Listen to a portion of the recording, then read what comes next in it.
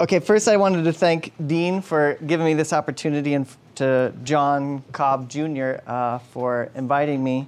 Um, and then also to say, uh, like Dean said, Fred was my advisor. I, I had to beg him more than once to take me on uh, because he has an administrative position rather than a, an academic position. Uh, but I wore him down.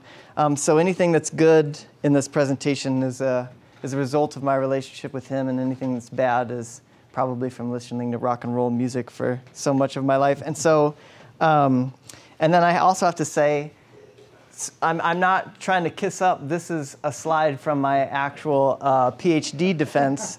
and um, uh, when Dean told me that uh, I'd be following Wes, I kind of felt like and like if an altar boy was required to give a talk after the Pope gave a talk, like what, what am I? And then, and then even worse than that, I'm just using the guy's own words anyway. Like I just, but I, I, I got over it in the sense that if he disagrees with anything I say, then it's just like form of schizophrenia, I guess. Is, so. Uh, yeah, yeah you did already today. You did. You rescinded a lot. Um, and so this my this uh, dissertation came as a result of um, me starting a PhD in sustainable agriculture at Iowa State University, which is the only institution that you can uh, get a PhD in sustainable agriculture in. In the first year that I was there, we had uh, a biannual um, kind of in-house uh, process whereby we evaluated ourselves and talked about strengths and weaknesses. And the person who facilitated it talked to that point where she said, you can get a lot of degrees in food system or agroecology, but when you pick the term sustainable agriculture, you are automatic, it's a political term, you are automatically, by definition, saying that there's some form of agriculture that is unsustainable, right? And so, um, so I started this program and was going through it, and you know, I, I had a steep learning curve when it came to uh, the agronomy of it. As a result of getting a master's in philosophy and religion, um, I, would kind of hoped that being the uh, my father being a first generation non-farmer in Iowa, maybe there was something in my blood that would uh, allow me to um, to make the grade. Uh, but what but what I noticed was that very little attention was given to what Wes points out in this quote, which is you can't solve the problem of agriculture without uh, solving the problem of the human condition. And we hardly ever talked about the human condition. Um, and so I, I, tried to do my research uh, in um, what I'm calling integral agriculture, which started with the uh, mindset of the farmer and then also took into consideration the, the life world or the interiority of the beings on the farm as well. What kind of relationship uh, does a sustainable farmer have with those beings? Um, and so I'll, I'll, just skirt through that, and I can I can explain it more if you'd like me to later. Uh, and then I really wanted to talk about you know a new paradigm and a consciousness. So, so to put this um, theory within a context, and then I'd, if I have time, I'd love to talk about we're working on a concept called deep sustainability uh, at MUM that I'd love to talk to you about. So this is my dissertation. Um, a truly integral agriculture would move beyond the confines of scientism and economism, and I'll define these terms, as well as the more materialistic interpretations of concepts like holisms and systems thinking, to acknowledge the role that the mindset of the farmer plays in sustainable agriculture, as well as the role of the subjectivity or interiority the beings with which the farmer is in relationship. And I believe that process metaphysics would provide a viable framework from which to reorient an individual towards these ends. Um, so these were the three chapters of my dissertation. Uh, transpersonal agroecology is what I called the, the, the theory of the mindset of the farmer. So to give you three quick histories, the history of transpersonal psychology is Maslow, the founder of humanistic psychology, he came up with the hierarchy of being, right? Where it's, you know, your material needs are met at the bottom, and when you get to the top, it's self actualization or self realization. Well, in 68, I think, he recognized that that little small triangle at the top itself could be a whole discipline, studying people's experiences of self actualization or mystical experiences. And so he and Stan Grof, who's at this conference, and Anthony Sutich came up with uh, transpersonal psychology. Um, so then, uh, a history of deep ecology.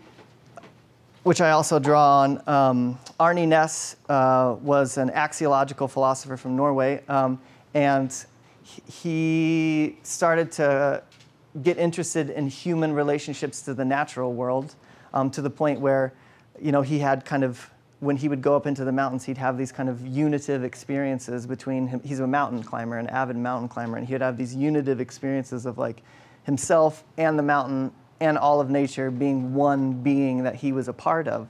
So he actually went to the uh, Gita, I think verse 6, chapter 29, that talked about the self and all beings and all beings in the self as like the starting point for trying to articulate an environmental philosophy that took seriously human relationships to the natural world. And then there's a gentleman named Warwick Fox, who, uh, Australian, um, who did his dissertation on okay, well, what, what is particular to deep ecology uh, as an environmental philosophy? And it's actually this, this uh, self realization as it pertains to human experiences and nature, that those two things uh, go together, right? That you, that, um, you can't have actual self actualization without being in relationship to the natural world. Uh, and so I took, he has a, that was his dissertation, so I took his framework and I tried to apply it to um, theorists in the sustainable agriculture world over the course of around the last century. So Liberty Hyde Bailey, Rudolf Steiner, Sir Albert Howard, Aldo Leopold, Masanobu Fukuoka, Wes Jackson, and Wendell Berry are kind of the people that I picked out um, over the course of the last century. Um, and so my thesis was that, that, that, that there's commonalities in opposition, subscription, and contribution. And so what I was saying is uh, most of them opposed scientism and economism, defined as uh, um, mechanistic, reductionistic, uh, objective science being the only uh, path to knowledge. They reject that. And then economism being that economic value is the, the main driver for what's valuable uh, in the world. Like the, so the, there's a rejection to both of those ways of thinking. There's a subscription to uh, that's identification is particular to Warwick, Warwick Fox's um, framework, and I'll get to that, and then also a, a, commitment to process that that agriculture is a process rather. Um, which is a continually evolving as opposed to just prescriptive. It's you do this one thing, it's like a checklist and you're done. And then that, I found that they actually contributed to the, to the field of transpersonal psychology in, in the ways that they talked about alternative epistemologies and methodologies. They talked about spirit as it pertains to agriculture, and they talked about values as well. Um, so I'm going to skip the scientism and economism. I hope that it's uh, kind of self-evident, and I actually will come back at a later date when I talk about um, process metaphysics uh, there's a quote from David Ray Griffin about scientism that is perfect. And, and I should have said this at the very beginning. If you like numbers, I apologize. I don't, I don't deal with a lot of numbers. And if you don't like words, I apologize even more because there's going to be uh, a lot of words. I love quoting people like Wes and especially Wendell who have the capacity to say such profound things in such beautiful ways that I can't help myself but throw them up on the slide. Um, so uh, Fox's framework for identification is the deep ecologists' relationship of themselves to the natural world can take three forms. One is cosmological, right? So, so themselves and the beings all being part of this universe. Um, the second is personal, so it's like I relate to this object in very individualistic ways um, or ontological, uh, which tends to get more into the religious or mystical, which is just the very nature of being, like this understanding that I exist and this thing exists in the profundity of that experience. Um, and so, just to give you, this is really shrunk down from my dissertation, but just to give you ideas of how this shows up in the literature, this is Liberty Hyde Bailey, who uh, essentially started the extension service, was D- the grand old dean of Cornell University, um, and wrote a book called The Holy Earth, I think in 1917. And so he says the farmer must be instru- instructed in matters pertaining to good schools, churches, roads, local government, politics. He must be stimulated in citizenship, and his intellectual and spiritual horizon must be broad enough to allow a sympathetic appreciation of the nature of which he is a part, right? That's a, that's a part of farming, is to have an intellectual and spiritual horizon that allows a sympathetic appreciation of the nature that you're a part of. Um, and then, so that's, you know, just personal identification as a part of the mindset of the farmer. And then in terms of process, uh, Wes said, I'm not talking about how we can, referring to Douglas Sloan, um, I'm not talking about how we can load up with different kinds of ideas, thoughts that various people have had about the world. I'm talking about the quality of consciousness itself can change and how this affects what we can experience and know of the world, right? Which is kind of Whiteheadian, right? That, the, that it's the framework of thinking that you have affects your perception, which then gives you feedback to reorient your perception. Um, Bailey talked about it, and this is actually one of the earliest terms, maybe Wes doesn't like it, but it's one of the earliest terms of biocentric. Um, the living creation is not exclusively man centered, it's biocentric. We perceive the essential continuity in nature arising from within rather than from without, the forms of life proceeding upwardly and onwardly. It's something like a mighty plan of sequence, man being one part of the process, right? An, an acknowledgement of process. And then this is great. Fukuoka says the ultimate goal of farming is not the growing of crops, but the cultivation and perfection of human beings, right? The process of cultivation and perfection of human beings.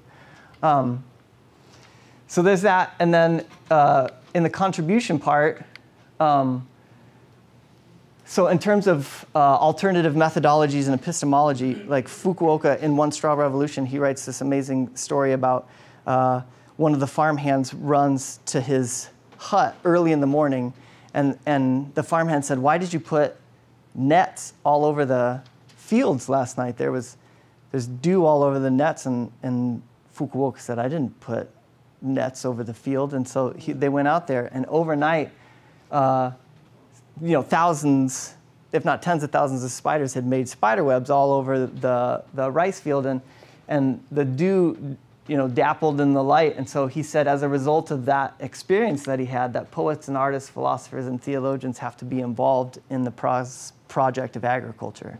That he, that, um, you know, it isn't just agronomy, that we have to honor these alternative methodologies. Um, and then Wendell says the use of land cannot be both general and kindly. To treat every field is industry, um, and that kindly use depends on intimate knowledge, the most sensitive responsiveness and responsibility. Okay, so intimate knowledge, I, I, I think he means by that a relationship rather than just knowing something really, really well. Uh, and then there's the role of spirit. Believe it or not, most of the theorists talk pretty explicitly about the role of spirit, where, like Bailey said, talks about sacredness, um, to live in sincere relationships with the, com- the company of created things is the essence of righteousness. Oh, and that's a, this is a big one, but I love it, so I'm going to read it. I apologize. Uh, it's impossible to contemplate the life of the soil for very long without seeing it as analogous to the life of the spirit. No less than the faithful of religion is the good farmer, mindful of the persistence of life through death, the passage of energy through changing forms. Because the soil is alive, various, intricate, and because its processes yield more readily to imitation than analysis, more readily to care than coercion, agriculture can never be an exact science. It's a practical art, but it is also a practical religion a practice of religion, a rite. And the last line, by farming, we enact our fundamental connection with energy and matter, with light and darkness. It's fantastic. um, and so then I'm going to skip to the third one. So, so that is uh, this understanding of that the mindset of the farmer is just as important as the practices of the farming itself. And at Iowa State, that was, that was absent. I mean, I loved my education at Iowa State, but, but the assumption was that you could take a, a, farmer who has a productionist mindset and just substitute the practices, and magically you're going to have sustainable agriculture, as if we don't have to uh, analyze and critique the worldview that goes into uh, agriculture as it's known in the 21st century, even. And then the implications of that led me to study. Um, I did a paradigmatic analysis of agricultural theorists. I did about a dozen. Um, uh, kind of meta level analyses of of both conventional agricultural understanding and then what people would term as sustainable agricultural understanding. Um, and this is as close as you get with numbers because there's numbers right there. Uh, so out of the, this dozen or so articles, um, this is whoop, this is what the shared philosophical and ideological aspects of industrial agriculture, right? And, and, and we know most of these, right? Uh, anthropocentrism, dominion, economism, reductionism.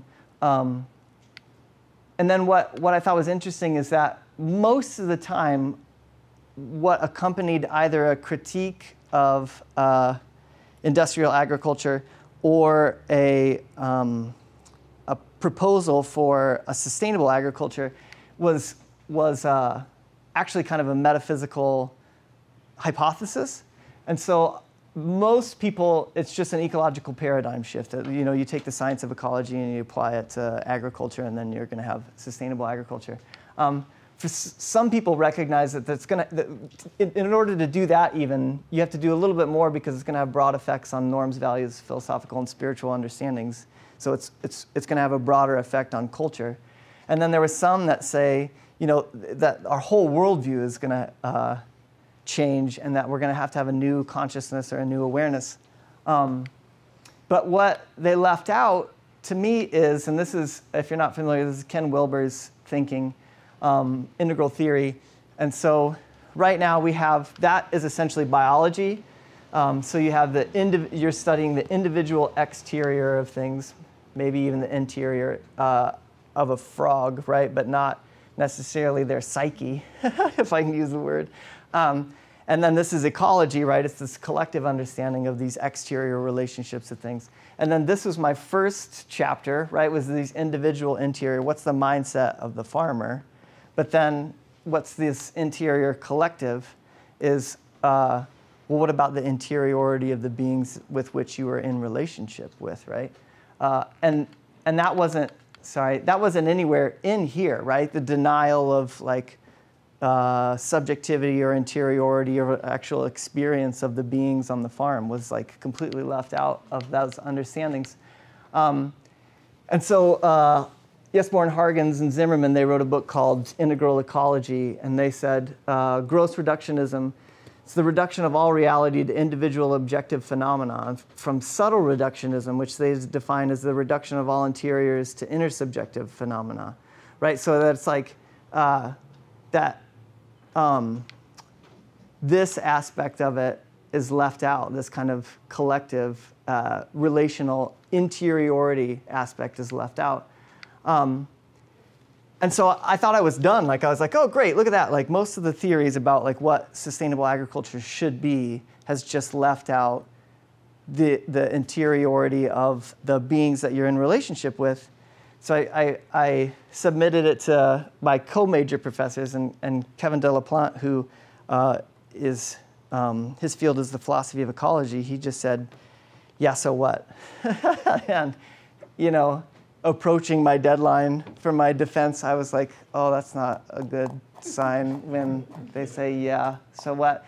And so I returned uh, to these original theorists to see, like, well, do they think that it matters? Do they think that the interiority of the more than human world matters? Um, and I came up with these three things, and so I'm super glad, you know, this morning that um, that Mark Anielski talked about love so that I don't feel singular or alone when I, when I talk about this. And to be honest, at Iowa State, I was the only humanities student that's ever gone through there. It's all natural scientists and social scientists. And so when we watched the movie To Patent a Pig, um, which is about Monsanto trying to patent uh, uh, porcine genetics, right? Um, and there's a German farmer who's had that particular trait in his breed of hogs for his, like it's his family's breed, right? And at the end of it, I said, that movie just made my heart hurt. Like that, I was like, it was just terrible. And everybody just s- stared at me like uh, I did not belong in there. And so at that moment, I was like, maybe I'll just keep some of my opinions to myself around these parts. Um, but believe it or not, there's a lot of, of talk about uh, love when I went back to it. Um, so even in Fox, Maslow in his uh, the- theories of transpersonalism, he talked about identification love, like specifically talking about the process of identification is, is kind of analogous to the process of love. Um, and so I took uh, this Aristotelian definition of love to be what Maslow means, and then these other theorists that I'll show you mean when they talk about love, where loving is defined by wishing for being the things which you consider to be good, regardless of uh, what it does to you, and then doing something towards that end as much as possible. And um, so then even Fox says, over time, steadfast friendliness often comes to be experienced by the recipient as a deep form of love precisely because it does not cling or cloy, but rather gives the recipient room to move or room to be themselves. So again, when I'm talking about love, I'm talking about the, um, the respect or attention that someone can give to the, to the beingness of another that allows that being to flourish on its own terms, right? So Leopold uses the word love three times in the land ethic. Uh, like he says, you know, when one of these non-economic categories is threatened, and if we happen to love it, right? Another one, uh, and there's uh, there's two more. Two of them are, wait, all three of them are in the land ethic, right? Wendell Berry says, you know, farming by the measure of nature, we tend farms that we know and love that are small enough to know and love, using tools that we know and love uh, with neighbors that we know and love. Um, and then Liberty Hyde Bailey says, if I cannot remove the dandelions from the lawn, then I will love the dandelions. Where once were weeds are now golden coins, bees reveling in color, and the spring sunshine kissing the blossoms with lips of dew, right? And so rather than removing the dandelions, he loves them and allows them to flourish on their, on their own terms, right? And, and actually takes satisfaction from that. Uh, there was also, that's my dog Crackers, he passed. He, he posed in his like Nirvana unplugged uh, thing before he passed. Uh, um, there's also this understanding of creatureliness, which again, okay, so love, love was the act of, a, of one being towards another being uh, for their good. Creatureliness was just a recognition of the subjectivity that exists. And so uh, Wendell talks about when we are working well with we are working well when we use ourselves as fellow creatures of the plants, animals, materials, and other people we are working with, fellow creatures. So we have interiority in the same way that other creatures have interiority.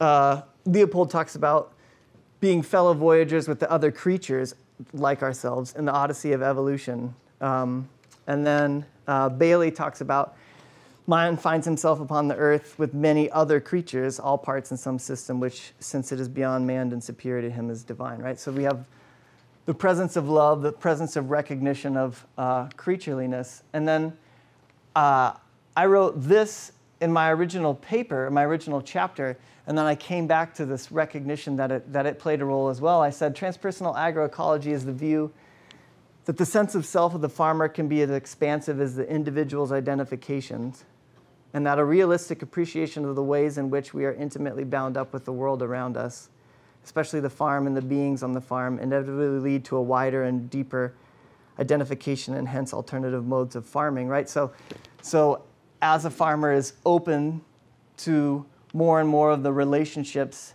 that they are in, then it, it, it, inevitably leads to a different kind of farming than the one where you're completely separate from the, the way that you're farming. Um, and so, and I, and I like the term realistic appreciation because whether the farmer knows that they're in relationship or not is irrelevant to the fact that they are in relationship, right? And so that by actually acknowledging that, that relationship, you get a more realistic appreciation of the way that the world works, like the way that the world is. And so um, I went back and thought, okay, well, why is that the case? why do these theorists think that that's the case, and then, and then how are you supposed to do something about it? Um, and the how to do something about it is there's two things. One is sensitivity, that there's this awareness that uh, farmers need to have a particular sensitivity. So Bailey says that, right? Sensitivity to life is the product of education. Uh, Wendell says kindly use by which he meant treating every field with the consideration deserving of its uniqueness depends upon intimate knowledge and the most sensitive responsiveness. And then uh, Koepf, who was one of the first um, wrote one of the first books on biodynamic agriculture in America. He said it's also important to be able to feel one's way into the processes of nature. It's then important to form thoughts that can penetrate into the structure of nature. Such thoughts will stimulate rather than banish the appropriate sensitivity. So there's this kind of awareness that's necessary. And then there's also what's necessary is a conversation. So it isn't just one sided. The awareness isn't just one sided. It's that there has to be a con- conversation. So Wes says that a consultation of nature, he uses three terms um, in both becoming native to this place and new roots for agriculture. He talks about a consultation of nature, a dialectical interaction with nature, and a conversation with nature. Um, Wendell says, What would nature do without? We have to ask these questions in order to do sustainable agriculture. What would nature do without us? What would nature permit? And what would nature, nature help do, right? Having a conversation with nature. And then um, he also says, And after each asking, knowing that nature will respond, this farmer would attend carefully to her response. In a conversation, you always expect a reply. A conversation is immitigably two sided and always to some degree mysterious. It requires faith so that in order to acknowledge the interiority and subjectivity of the beings that you're in relationship with, you need a sensitivity and you need to actually have a conversation. Um, so, and then I'm excited about this part because where else do I even get to talk about something like process metaphysics than at a Whitehead conference? Otherwise, I would just be skimming through this as fast as possible before everybody fell asleep. Um, the reason that I thought about it is I thought about, okay, so how, how could I teach transpersonal agroecology to uh, burgeoning farmers like bachelors of arts or bachelors of science, let's say, um, in ways that would make sense to them given that the dominant uh, paradigm is antithetical to like this understanding that uh, those theorists thought were necessary. Um, and so there's Alfred. Uh, process, being is becoming. He wrote about a philosophy of organism. And, I, and I'll be totally honest about the fact that I've read some of Science in the Modern World and some of Adventures of Ideas, but what, who I relied on mostly were environmental processors, thinkers like John Cobb, Susan Armstrong, uh, David Ray Griffin, and Brian Henning. And so, just to give you the briefest of outlines about why I chose process metaphysics is because, okay, so um, the dominant paradigm right now that, that could uh, be shown to uh, be the mindset that agriculture stems from, industrial agriculture, is Cartesian and Newtonian metaphysics, one where subjectivity is just in the head of uh, human beings, and that um, the rest of the world is made up of just discrete objects that are bouncing against each other through forces. Uh, what process metaphysics does is it flips both of those things. Interiority is ontological, so, so to be is, is to, to be a subject, right? As opposed to the only real subject is, is humans. And then rather than just being these discrete beings that are bouncing off of each other, that, that um, relationships are primary. Um, and so I found that it matched up one to one with concepts. That, like in process thinking, there's, a, there's an understanding of scientism, there's an understanding of alternative epistemologies. But what was great about process metaphysics is that it gave me two more things uh, adjudication, uh, so assistance with decisions regarding competing centers of value, or another way of saying that is how do we decide what we kill in order to exist, right? And the other one is is it gave me a proper valuing of the human species. Well, what right do we have in the first place to be agriculturalists? Um, and so with adjudication, it came from Whitehead's quote, which he essentially just says, life is robbery. And it's at that point that morals become acute. The robber requires justification, right? It gives us a reason to, to decide between uh, keeping this life or keeping that life. Um, whether it be like this is the, the plant that I'm growing and that's a weed, or uh, this is the, the animal that I'm growing and that's a varmint, right? Like, uh, and then um, Susan Armstrong Buck, she talks about that we have a greater obligation towards entities with more intrinsic value, right? So, so it means humans are able to make that decision because we are capable of more ex- significant experience. But as opposed to anthropocentrism, uh, Whitehead says that value isn't just something that we get to decide. Everything has value for itself and for others and for the whole. And so we're constrained in our ability to make these decisions about what gets to live and, and what gets to die. Um, and then in terms of, pro- and, and I, didn't, I didn't find that in the rest of the uh, agricultural literature, uh, a, a, worked out way of, of um, allowing us to make those decisions. And then the other one is, is by adopting this framework, you get an understanding of the fact that we can be ecologically benevolent beings, right? That we have the capacity as a species to create uh, benefit for more than just ourselves, for the, all, all, of the beings that are around us. And so that's a different way of thinking about what it means to be human. Um, and so uh, Cobb says a lot of these, Whitehead says a lot of these. The easiest one is Henning says that with a, with a Whiteheadian framework, our bias is always and everywhere to be more inclusive. So, so in agriculture, it would be in what way can we devise an agriculture that not only allows us to get what we need, but also provides for all of the other beings that we're in relationship with.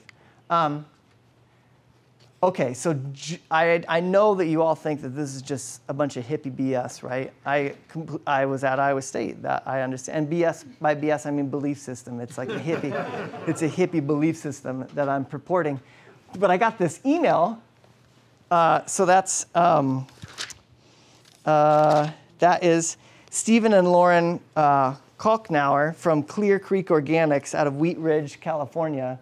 I got this email just two weeks ago, and he says, Dr. Cox, I came across your work while scouring over the info for the Pando conference. For the past few months, I've been reading and exploring process relational thought. It's been very encouraging to me as a vegetable farmer. I have a degree from a, grant, a land grant university in horticulture, and yet I've always resonated with alternative agriculture rhythm of thought. As I learn about Whitehead's metaphysics, some of the things that I've experienced on the farm are really resonating, particularly the relational connection to the land, to place, and to a community.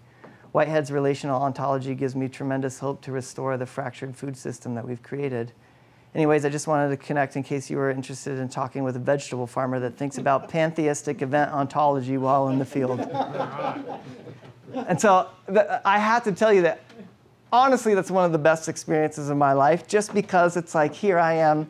I like reading books and just thinking about things. And so that the fact that it has, that there's one person in the world who's like a farmer who's genuinely thinking of this stuff, it just made me so happy. Um, but I wanted to place it in context, right? So, so I, am talking about an integral agriculture that allows us to take seriously the mindset of the farmer and the interiority of the beings on the farm. Um, but there's, in looking over the sustainable research, there's uh, I'm placing it in a context where this makes sense. So Donella Meadows, she wrote uh, uh, a paper about leverage points, right? So she, and she had 12 points of where you could leverage a system in order to make change. And less effective was up at the top, stocks, flows, feedback loops. More effective was the middle kind of rules, goals, and mindset. The most effective is the power to transcend paradigms, right? That that's where you leverage that and you change the whole system. Um, and how do you do that? You keep pointing at the anomalies and failures in the old paradigm. You keep coming yourself loudly and with assurance from the new one. You insert people into public visibility. You don't waste time with reactionaries. And, um, you work with change agents and uh, with the vast middle ground of people who are open minded. Um, Frances Moore Lappé just wrote a book, Eco Mind. Uh, she talked about seeing what we expect to see even shapes how we perceive our own nature and our place in the universe, and therefore what we imagine to be possible. So that paradigms dictate possibilities, right? So that, that within particular paradigms, people think that only these things are possible, and we have to subvert those in order to even recognize what we truly can do. Um, and she talks about the dominant metaphors of environmentalism feed fear and division instead of actually uh, finding rich and positive possibilities. And she thinks that that's a huge shortcoming since we're creatures of meaning so we won't jump from old meaning in, unless we have new meaning to come into. Um, and then James Gustave Speth's at the end of Bridges at the End of the World.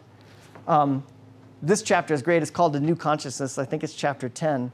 And it's just this litany of like many of the deepest thinkers uh, have concluded that the transitions required uh, a new consciousness. So Václav Havel says, um, only by making such a fundamental shift as a, as a new understanding of the true purpose of our existence will we be able to create new modes of behavior and new values for the planet.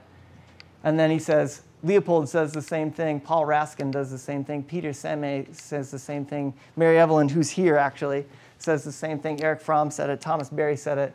Um, and see, now I feel like I'm blathering, so I'm going to try to get to the end real quick.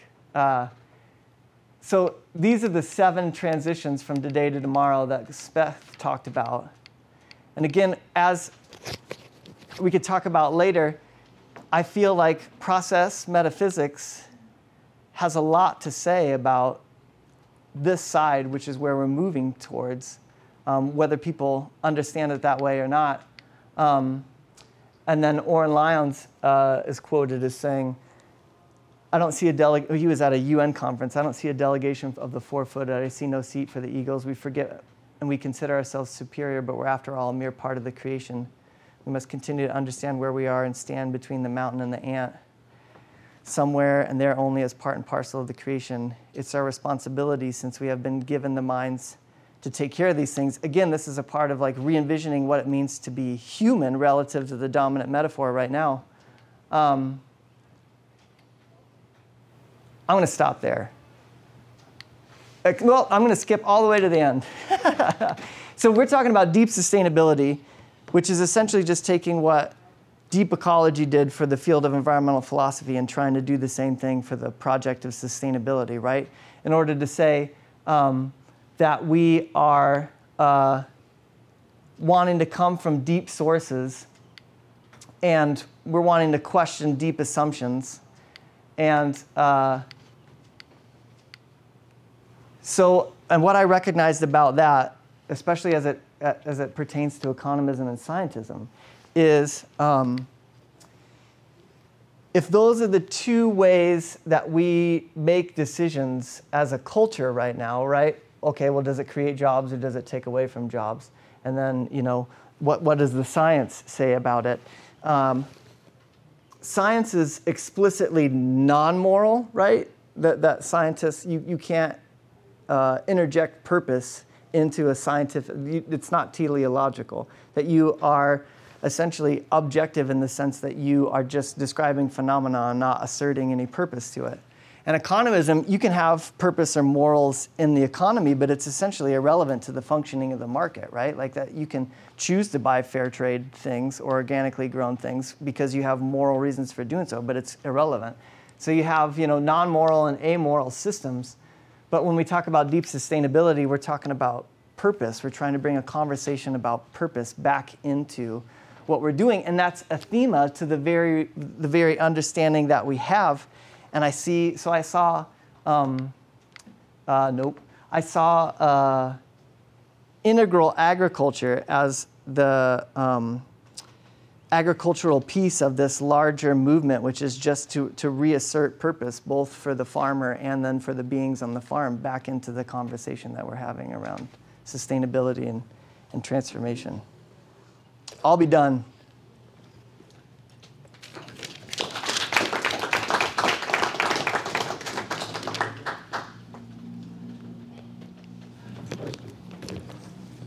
Yeah. Could you explain integral agriculture? That's my question. So I'm going to zip through it and maybe I'll just. explain it. Okay, so agriculture, if you took four quadrants where it's the individual and collective, and then the interior and the exterior, agriculture so far has been uh, concerned with, sustainable agriculture even, has been concerned with, let's say, the biology of it, which is the individual exterior, and then the uh, ecology of it, which is the collective exterior. But we've completely left out what does the mindset of the farmer look like in order to have a, a sustainable agriculture. And then what about the interiority of the collection of beings that we are in relationship with? And so, so to me, an integral agriculture, meaning whole agriculture or holistic agriculture, would, would take seriously all four of those things, not just the biology and the ecology, but the psychology, and then almost the spirituality of, of being in relationship. I was wondering where the philosophy of agriculture fits in. Well, that's what I mean. Like, I think Paul Thompson in Spirit of the Soil does a really good job of um, analyzing uh, the philosophy of conventional agriculture. And then what I tried to do in that first chapter, and it's free online. Like if you again, if you Google transpersonal agroecology, it's the only the only thing that comes up. Um, but it's just to say that uh, in terms of from Liberty Hyde Bailey to Wendell and Wes, that the philosophy of sustainable agriculture has to do with this opposition and subscription and contribution to this deeper understanding. Yeah. What makes agriculture sustainable? I it was a hard act like I it was a hard act to follow Wes because I genuinely feel like I was in a room where um, you know just using his his uh, assertion that the Haber-Bosch process was the most important um, invention of the 20th century I, I, was not friends with Mr. Haber or Mr. Bosch, right? Uh, nor did I ever meet them, but I felt like I had the privilege of being in the room when the invention that will define the 21st century was talked about in the sense of, of a perennial polyculture actually being possible on a large scale. And so the ecology, you know, the ecology part of it uh, is definitely a function. But then my hypothesis is that the psychology of the farmer and their relationship to the natural world is, is also important in that equation and, and had been left out of my uh, um, educational experience. And, and what's kind of difficult about your question is ecology. So if you read like Donald Worster's um, Nature's Economy, right, the history of the philosophy of ecology, uh, you can see how thought has shifted over the course of the last hundred years relative to the science behind it. But I haven't, I haven't really seen how the psychology and the spirituality of it that I, that I was talking about, it requires so much self reflection and deep work in terms of the assumptions that we have based on what it means to be human and what our proper relationship to the natural world should be that it's like I can't articulate what what that part of sustainable agriculture would look like. I have I have kind of a hypothesis that it's seemingly spiritual. It's very relational. It is uh, honoring of the other in ways that we don't do right now. But I haven't even been able to go back far enough in order to go forward. Is what it feels like. Yeah. Go ahead. You. Go ahead. Go ahead. I guess my question is in terms of your focus being very Western and Iowa State, it's totally understandable. It's more a question that um, I'm on kind of a different spectrum in terms of where I'm studying and I'm still looking at Gonzagara, Gabriel Dietrich, ecofeminist voices mm. who ecofeminist has its own things to be examined as well. I'm not trying to say that it's the end all be all, but the anthropocentrism is very well addressed in this, but what about the androcentrism? Yeah, yeah, yeah, yeah. And the mindset of the farmer, like who is the farmer? Because if you're looking at kind of these other non-Western voices in farming, yeah. reflexivity, the spiritual connections to the household, to farming, the fact that the latest ag census has shown that women are the fastest growing sustainable farmers in the United States, is it limiting in the audience to just be addressing theorists that are primarily male and white. Right. Yeah. So I wonder if that could help out. I I was um, I'm an Iowa boy, and chances are I'm probably going to stay there. And so I was thinking of the people that I would try to address primarily. I mean, like in doing my like I didn't use Lady Eve Balfour, right? I didn't use Vandana Shiva. I didn't use um, uh, even Rachel Carson. Um, and so that was one of the things that, as in doing my people on my committee, uh, were really cognizant of having me put those people um, to be aware of them and to read them. But then that's like you know my my fourth journal article is is, is going to be that, and then even to do uh, eco pedagogical critique of what I did, right, to show all. I'm totally aware of that, but then I thought about. Um, even my experience at Iowa State was one where uh, I'll just tell you a, a, story real quick. Like, there's a pipeline that's going to go through Iowa from Nebraska to, uh, I mean, from North Dakota to Illinois. Um, and we had one of the first meetings in our in our county where the pipeline is going to go through. And Angie Carter, who's a, a, student at Iowa State, who's organized a lot of these resistance meetings, um, I'm sure she was well aware of this.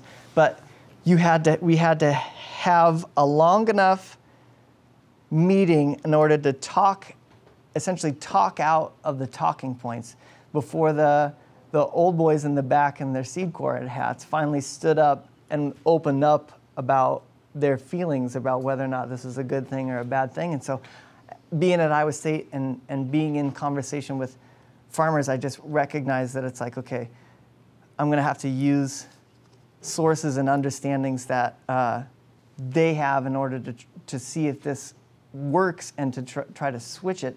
And so, actually, the last chapter of my dissertation was relating a farmer, uh, Vic Madsen, um, who has like 250 acres. And, and I had a long conversation with him that matched up all of this philosophical silliness to concepts that he uses in the field, right? And so it, it was really validating for me, but it's, it's only part of the story. Yeah, yeah, yeah. Are you connected with the women agri? Yeah, yeah. Yeah, 'cause Yep. they're in Iowa and they're Right. doing great things. Yep, Yeah. yeah, Cool. Thank you. Yeah. this might have drifted beyond uh, where we were. A couple of thoughts, um, just for clarification. Uh, it's Vaclav Smil uh, that said that uh, um, Haber-Bosch is the most important invention of the 20th century from an existential point of view, from the point of view of human existence. That is the standing crop of Homo sapien. Uh, 40% of it is dependent upon natural gas as a feedstock uh, to run Haber-Bosch. So, um, uh, but the maybe the largest point uh, that um, about reading uh, Don Worster's Nature's Economy, which is the history of ideas in ecology. Uh, Don says, a, I think, a sobering thing when he says that um, that ecology has always been the most susceptible to the dominant worldview, and uh, more than the other disciplines within biology. That's a, an amazing sentence. But what he's saying is, is that, I mean, for instance, take the words in ecology that are so important: producer, plants, photosynthesizers, and consumers. Those come right out of the industrial language. Producer, consumer. Thoreau didn't talk that way. And neither did the naturalists of the, uh, uh, of the 18th and 19th century. Um, uh, Gilbert White would, would not even have that in his, in, his thinking. Although Gilbert White knew all about, well, he didn't know about the, the chemistry of photosynthesis, but Gilbert White knew that things ate things and there was a balance and a constant. And that's interesting how that language, um, how, how, how the dominant culture has the ability to subvert a discipline that is supposed to be of a corrective nature. So that, that's one thing. Um, and then a, so so what we have here, it seems to me, is in ecology and evolutionary biology, uh, we have something that's struggling to be born. And we're saddled with the language of the Industrial Revolution as a source of our metaphors uh, when we work it through. We could say all we want that the organisms are not machines and uh, think we've got it covered, but we don't have it covered. Uh, we've got to look at this language all over again and and look at the the nature of interaction, look at processes, and uh, so if we think about trying to mimic the structure to answer Dean's or to try to deal with Dean's question. um, what we really want to do is to mimic the structure that we see in natural ecosystems in order to be granted the function. And I'd underline the word granted, uh, which is that you're mo- moving now over into the realm of, of, a religious talk. Did you say granted? Granted, yeah, and I'm quoting actually Jack Ewel. Jack Ewel uh, in um, Costa Rica, where they do clear cutting, and uh, well, where they do uh, slash and burn, where they were doing slash and burn. Uh, Jack Ewel and his students, many years ago, uh, noting that the slash and burn was expanding, um, he went in there with these students and in a cleared area and looking at the surrounding vegetation, decided that they were going to try to mimic that structure of the surrounding vegetation. And uh, some of the rules were they could not, any plant that they put in there could not get there on its own.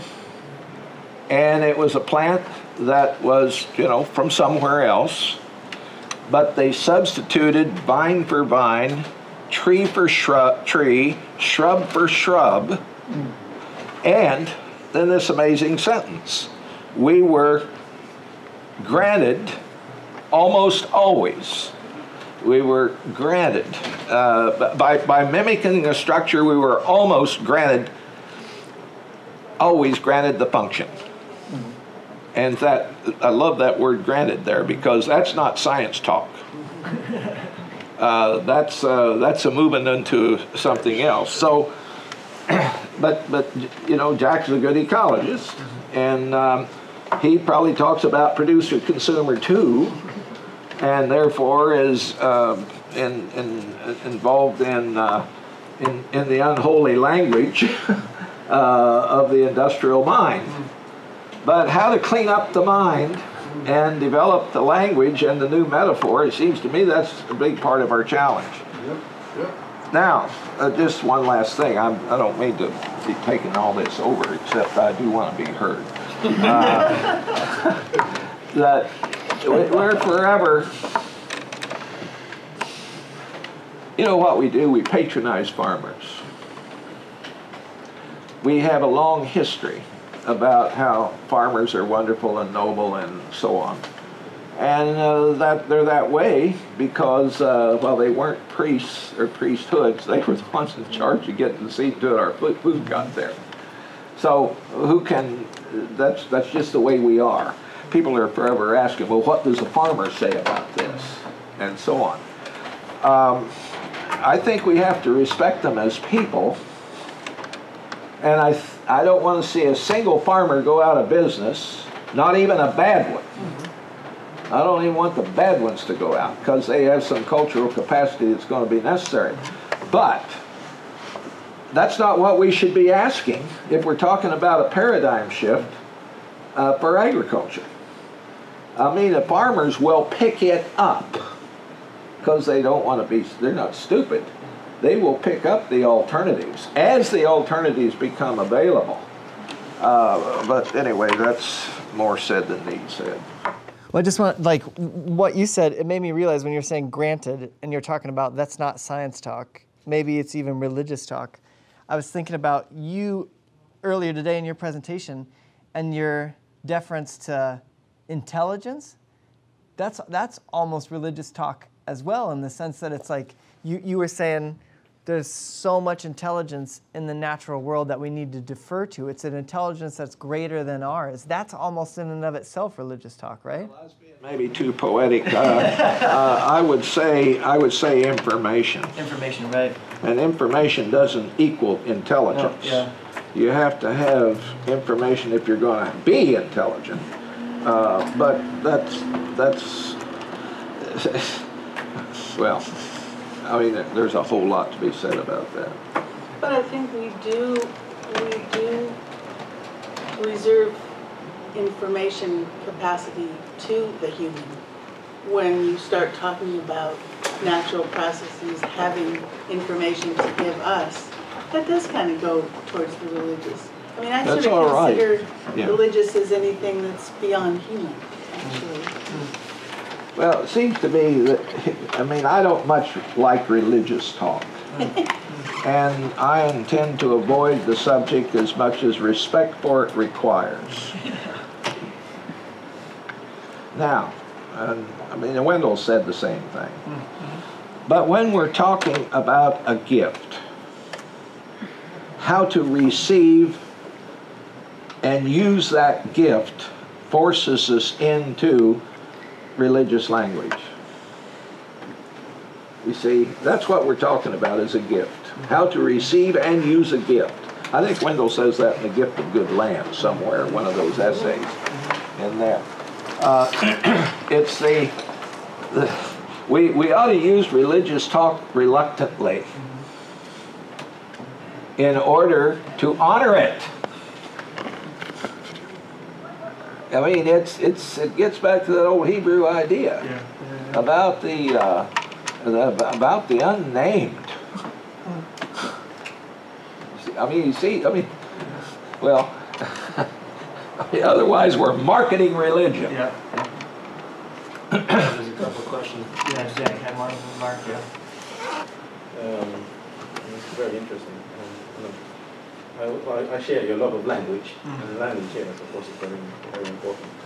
Um, It's language that's between us and the world, and it's the way to use language we want to share our engagement with the world. And language is extremely important when you're trying to create something new, because it is new, it doesn't exist. So we need to come up with new words for it. Um, and that's what we're dealing with here, in a sense. Yeah. I'm, I'm a bit afraid, and, and I, I, I, I, it was a very good presentation, and, and you, uh, I'm kind of following up what you uh, asked in the beginning here, because we must be very aware not to create kind of hegemonic languages. I think that is very, very important because there are there are tendencies within this movement to create hegemonic languages. It's the poetic language, it's the academic language, but there are so many others here. I mean, because we're talking about many of the, the people who are the most important. They aren't here; they are out there in the field, and so you have the local language. Uh, local language is deeply underestimated today. And I feel that I, I, I- face that everywhere when I meet farmers, that, that so much of the language that they actually have is not being expressed. Because they, they, don't, they don't feel, feel, find a way of expressing it, because they feel that there is a hegemony. And, uh, and they don't see, how to, to kind of go see through it. And uh, the local uh, uh, knowledge has, has in many ways lost value and many farmers have, have lost self-confidence. And, and that is very, very uh, sad and very, very tragic and very dangerous even. Um, and you have the tacit knowledge. There's a lot of tacit knowledge here. An enormous amount of tacit knowledge. There's a lot of, of knowledge that is, that is uh, being communicated through do, doing only, between hands, passes between hands. It, it, it, it doesn't use words. So we, we, we must be we must be able to kind of communicate on all these levels and reach out to all these different languages and, and, and ways of communication if we are actually going to uh, succeed. At least uh, to be able to communicate with farmers. Um, so many examples of, of, of these expert knowledges dominating um, and uh, especially when it comes to sustainability the local knowledge must uh, perhaps be the, the, the number one, the most important. Yeah. and so that's, that's why I, I ended my dissertation with okay, just having that conversation with Vic. Like one of the examples that I'll give you is, you know, I was talking about sensitivity. Okay, so the farmer has to have a particular sensitivity, and he has 250 acres, I think, in uh, west central Iowa. He uh, one of the things that he said he loves to do is um, divide it up into plots, and then he actually develops rotations based on kind of this intuitive knowing of what that particular part of the land needs, and, and he adapts it. And he says that's one of the things that is his love of farming is that kind of relationship that he has with it, as opposed to the neighbors that he has, which are just that their um, efficiency is the most important thing. And so when I talked about sensitivity, uh, he talked about the eye of the master, which is which is uh, local knowledge. He said that's what a lot of people, the phrase that they use for, let's say if they have cattle, you, you would be able to walk into a field and just from the shape of a, of a cow's back recognize that there's something wrong with that cow. Well, that's the sensitivity that I was talking about in this completely heady way, but there was already language in that community that signified that exact same thing. And so it was so important for me to be able to Yeah, yeah, I, I- I think that we also need to be open to that language, which is basically about hard work. Uh, and about all these days that are not romantic. Right, and yeah. old and, and sweat and, uh, and because there's a lot, we, we must also be, have our ears open to that kind of, Yeah, otherwise we won't succeed. right. Yeah, Mark. I don't know if I'm gonna be able to get this point across, but um, I'm gonna speak from a little bit of personal experience. So, first of all, I'd like to say, I think there's a lot of ancient cultural wisdom in the Bible, in Sufi stories, in Buddhism, and all that kind of stuff, that when you get into gardening or farming, some of it becomes more re- revealed. You know, it's the, the experience of actually working the soil and planting the seed and seeing it grow and living in the weather and being subject to forces outside and beyond your control. That if you're, I think in your words, sensitive to that, and you have these parables and stories that help you relate to these things that you're experiencing, it becomes kind of um, oh, what's, I, I just had the word in my mind, but, um, Trent, what, whatever Thoreau was, whatever that period was, the, uh, Oh, you're transcendental. yeah, Yeah. you transcend. Yeah, You know, yeah. just the, the drudgery or the, the fears, you know, you, you have stories that you can relate to and they become meaningful. And I think from some of the conversations I've had back home and that, about how do we, you know, change, it's that people are gonna relate to stories, to the fable, to the moral story that says this is the way it's right. You know, when they start, when they can see, put themselves in this story, they have a certain confirmation that they're doing the right thing. You know, and that's how I felt when I was gardening. Is that I thought I came under, I understood things I didn't understand before because I was sitting there doing the hoeing or the gardening. And all of a sudden, it, something made sense in the fact that I could relate to the actual, what I perceived as the meaning of the story. So that, I think, again, I agree with the, need the new metaphors and the new stories, but also I think there's probably a lot of ancient understanding in the, the past on, that can be brought out again. So to get to the, the farmer with the, the mindset to bond with the, the occupation, feels like, you know, that's part of the education of the person growing up, is to be exposed to these stories, even if they potentially don't understand them initially or they, they don't deeply understand the relationship.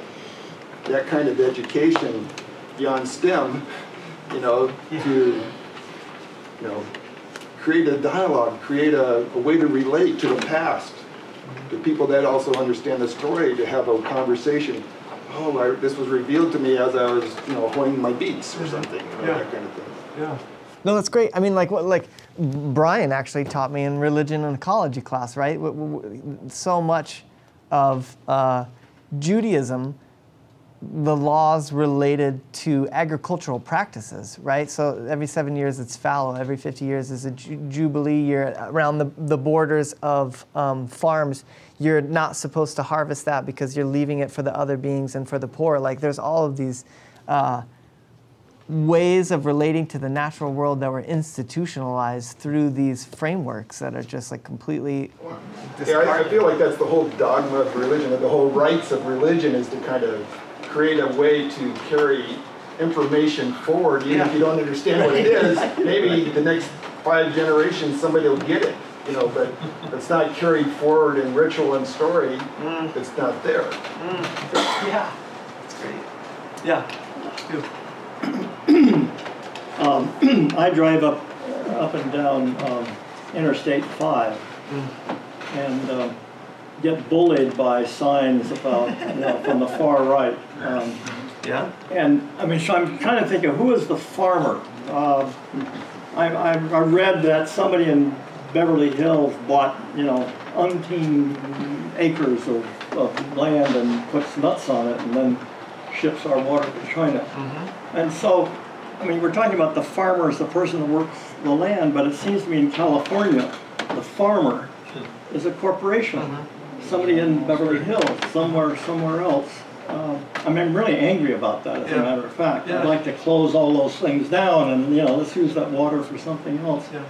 And uh, I understand that a lot of American farming is like that. At least a lot of the big grain farming, Mm-hmm. the soy and the corn is, is, is Absentee landowners. yeah, I mean, yeah. somebody that sits somewhere, you know, making decisions, that the person working in the land is, is a kind of a serf. Yeah. I mean, and, I mean, a lot of American, I don't know how, I don't know what the numbers are. So how does, so this almost needs to be said to me as a non-farmer, Yeah. you know, to get me organized to then do something to the Beverly Hills guy. Right. I Right. mean, I, I mean, I, I mean, who's the farmer? Yeah, yeah, yeah. Who No. are you talking to? Right, it's great. Well, like Liberty Hyde Bailey, you know, you know back in 1917, uh, I, I read the, the Holy Earth and Outlook toward to Nature. And essentially, and uh, you know, I'm obviously paraphrasing, but he was saying, look, we can train farmers to be moral stewards of the earth, or we can train them to be factory managers, right? And we made our decision, obviously.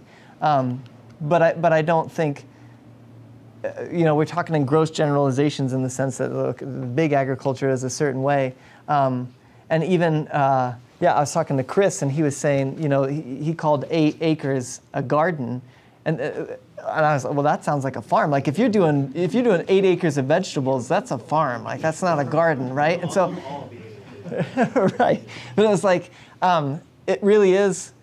Uh, how we conceive of even what it means to farm, what it means to be a farmer. Like it was, this is a metaphor, and it might get me in trouble, especially since I'm in Iowa, but I've been in trouble my whole life, so it, it doesn't bother me. Um, uh, it's like calling NASCAR charioteering to call what people do now farming, right? Well, like uh, even relative to let's say like 150 years ago, what, what some people call farming. Like when I think about, you know, you're sitting in an air-conditioned uh, combine that is using GPS and, and you've applied like how much relationship do you actually have to the to the land I just I mean uh, saying that is going to get me in trouble but I, I share your concern for even the very definition of what farming is when you have a Super Bowl commercial you know and on the eighth day God created the farmer right and then it's just black and white and I don't know if you guys saw that but it's like it, it plays to every kind of American understand narrative that we have around farm. I mean, it, even I am like, as an Iowan, I'm just like, oh my God, like that's, that's amazing. But then, you know, I know better than that, and so it's it's it that is an interesting place to start. Is even what's the definition of what a farmer is, especially relative to again what kind of mentality gives you what kind of farming, right? It's industrial agriculture for a reason. Yeah, Chris.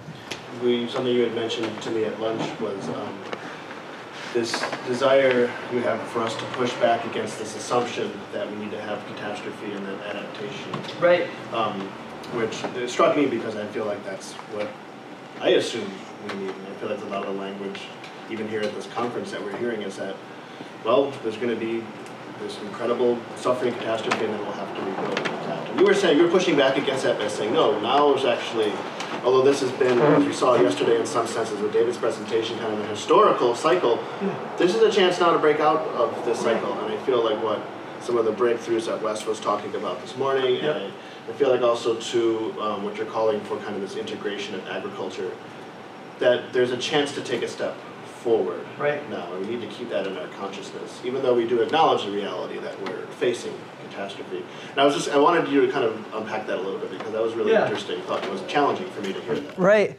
Um, well, and again, like when I, when when Dean asked that question about so what's sustainable agriculture, like in in studying worldviews and, and paradigms and consciousness, and and recognizing the extent to which I am a product of an uh, modern education, I can probably list so many con- commercial jingles right now that it's terrifying because my mental space has been colonized by you know like every McDonald's uh, jingle since the time I was born, right? Um, that it's hard for me to to even conceive of what uh, what I had said to you, which is I don't think we have to to reach this collapse in order to change.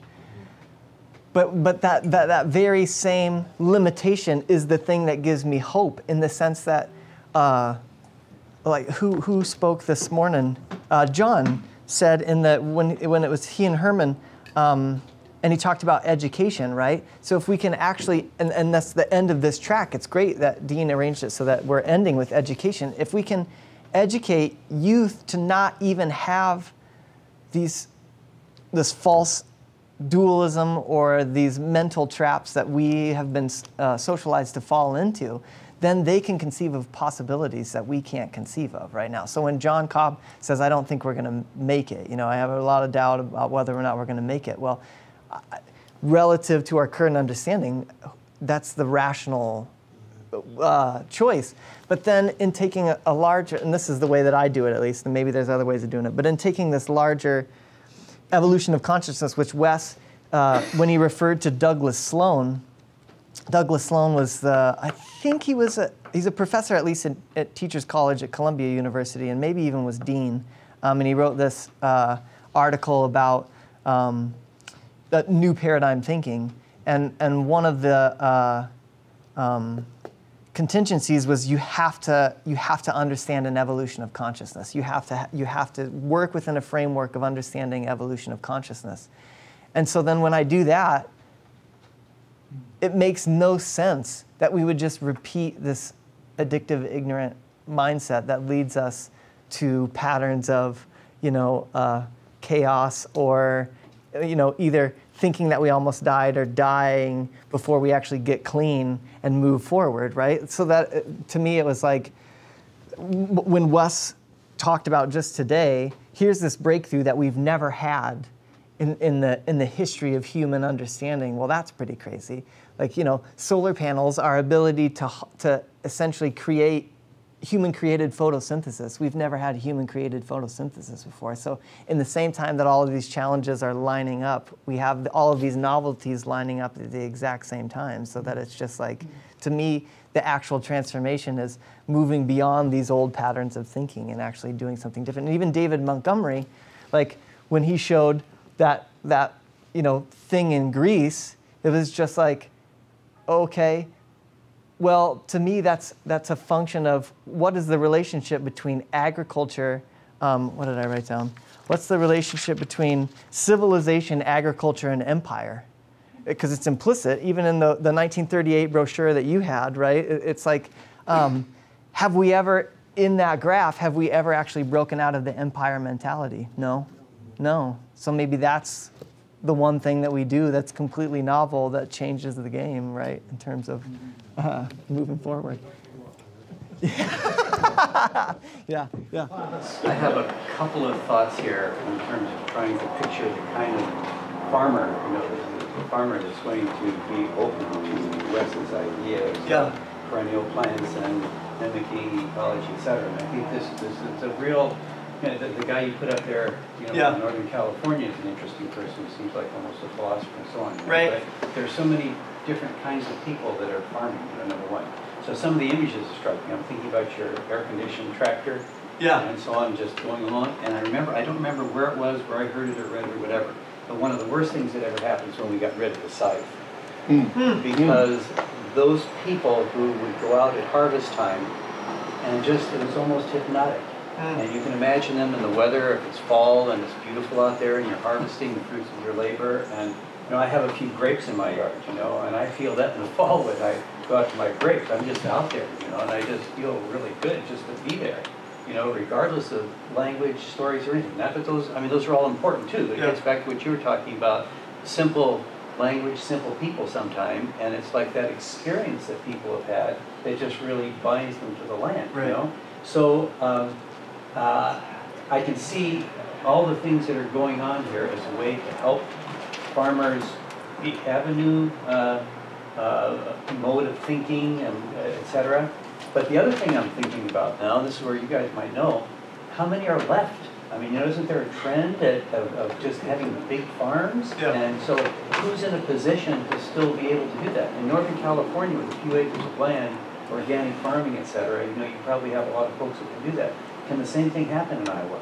Right. Can, can it? I don't know. Well, just, we're, we're- uh, and then I'd love to hear what other people say. Uh, and, and I wanted to just honor Dag too, where it's like, uh, you know, we got rid of the scythe, and, and maybe there were some cons that came with it, but that's backbreaking labor to like harvest a field of, of wheat, right? And so that's one of the things that I love about Wes's work is we have an understanding of ecology that allows natural systems to do the work for us that beforehand was like really difficult labor. But um, there was a college, and forgive me for not knowing the name of it. It's in Wisconsin, and I could pretty easily figure it out, where they did a student-run, student-organized, student-led uh, conference on the future of agriculture, and they had 350 students from all across the country just show up. And then after that, like within that same year, the New York Times did an article about the number of young people who maybe even got degrees in humanities fields or something like that who are actually returning to agriculture.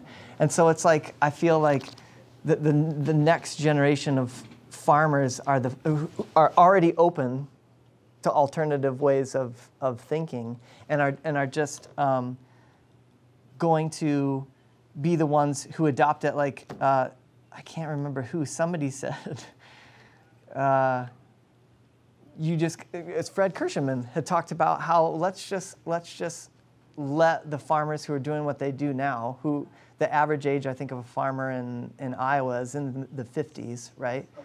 Upper 50s. That you just, you just create conditions that allow those people to transition out of farming. But then we create conditions that when new people come into farming, they come into farming in a different way. And so that's what like SILT is a Sustainable Iowa Land Trust, which actually um, landowners will then donate land into this trust, and then new farmers will get educated and will get resources in order to start farming differently, which I, I would love to, yeah, on much smaller scale. Yeah, yeah, yeah. Oh, yeah, yeah. Is there a- a- a- another counter trend to that? Right, yeah. Consolidation? Absolutely. happening? Yep. Okay, Yeah. Thank you. Yeah. Yeah. Go ahead. Um, I just wanted to say something about the scythe and just farming tools in general. Uh, One way in which farming can be, he- this field can be hegemonic is not just language, it's also the tools that we use. Not to say that women can't use scythes, but I physically do not have the, I farm and I physically do not have the ability to do that work. I, I love my work and I love, I, like I have that same experience when I harvest things that I've grown myself. It's, it's this transcendent reality that can't be captured in words, but I can't use mm-hmm. some of the older tools. Mm. And I think when we, you're right, when we, when we retire them, it, it does change our relationship with the land and it does change our relationship with the things that we work. But it also creates an opportunity to bring in new people who might not have the ability to use those tools. Yeah, see, I wasn't talking about going back to that at all. Yeah. And I'm talking about what people experienced in the old days. And when I look at it, it's like I also think about rice, planting rice. Oh, And yeah. I, I see backbreaking work, Mm -hmm. but rows of women primarily, Yes. with rhythm, mm -hmm. with some social connection and whatnot, and then at the end of the day, being together socially, you know, and so on, those little guys at the old side probably had a nice beard at the end of the day or whatever. Yeah. You know, so I mean, I'm just saying there was a social connection Yeah. network and a connection there that made people really feel good about what they were doing. Yeah. And how you can still replicate that, like I think Wes has parties. I remember looking at his web- website, mm-hmm. and they have get-togethers with folks with, that do their produce and share it and mm. socialize, and I think that's fabulous, it's mm-hmm. socialization too. Yeah. yeah. You know, so ways to adapt Yeah. those ideas into But I, I think creating new tools that mm-hmm. A wider group of people are, are able to use Sure. and interact, Yeah. I think that actually Multi-threaded. furthers that. Absolutely, Right. absolutely, Um, not detractor. I, I also just want to say, like, um, I think that there are more farmers out there that you, than you realize Yeah. that would be open to um, process metaphysics in that way. Right. I work with several. I, I have a friend who has talked with several as well. But I like, I mean, of course, there are farmers who are not open to it. But I think there are more out there than you would realize. Yeah, yeah, that's what I was hoping. I mean, I want, I want to get a grant to be able to just go around and talk, and like, uh, it doesn't matter to me. It- it- the ones who don't aren't open to it, I would love to just sit on a table and just rap about it. But then the ones who are open to it, I would love to like learn from them because again, this is just a bookish theory as opposed to a lived experience. Yeah, it's great. Yeah. The problem with, with, I don't want to throw a wet blanket, but the problem with the small farmer is that that person is farming marginal land for the most part. Mm-hmm. The good land, the productive land, is under the four-wheel drive tractor. Mm-hmm. And a lot of it is owned by banks or investment companies because land in Iowa two years ago sold for sixteen thousand dollars an acre. So how are we going to adjudicate Yeah. that with putting a small farmer back on that fertile, productive land? Right. Yeah. It's a real Oh, problem. totally. Um, I don't see a, a solution to it until there's a rollover Right. on agriculture. Well, and even like I remember in, in my graduate studies, somebody saying that a third of the land values in Iowa could be directly tied to the subsidy system. Well, yeah, Right. So then, if we do make this transition, then like that wreaks total havoc with Well- the with the economy of Iowa, right? But I have no idea. Yeah. That's right, and you can't get government out of it. Right. It's, food is a weapon, Yeah. and it's been a weapon for a long, long time. Right.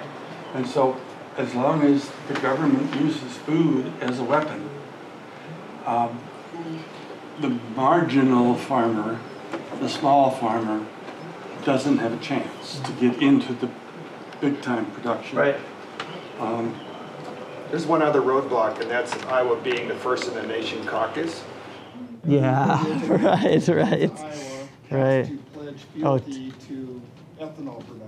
Right. Yeah. There you go. Oh, and like to the point where it was really interesting this last year, and I forget if it was like Rachel Maddow or who, who, oh yeah, almost done, who, uh, who brought it out. But when, so Bruce Rastetter, who again, I need to watch what I say, um, but who uh, is a large um, farmer in Iowa, um, and now sits on the board of trustees.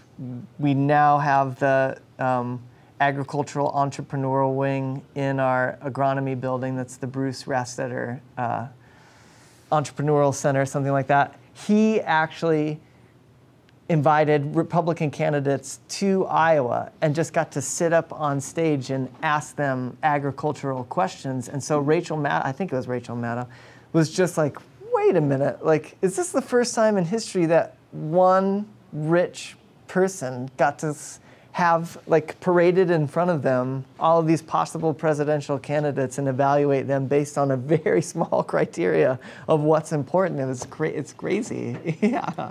As much as I love being from Iowa because we're first in the nation, maybe I'll sacrifice that in order to. Paradigm shift needs to happen there, because I- Iowa needs to step back.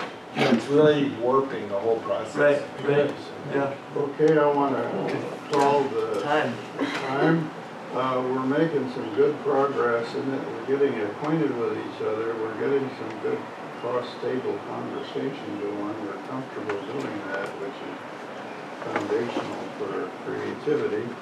Um, We've seen the critical problem of soil, and no soil, no civilization. We've, we've seen the complexity of trying to think in ways to create an agriculture that mimics the dynamics of a natural system, uh, that was demonstrated in what Wes was talking about. Uh, we're getting into the whole understanding of, with this discussion of how do we begin to understand what we're talking about in terms of building an ecological society? Nobody in this conference has tried to define that term that we're talking about as our objective.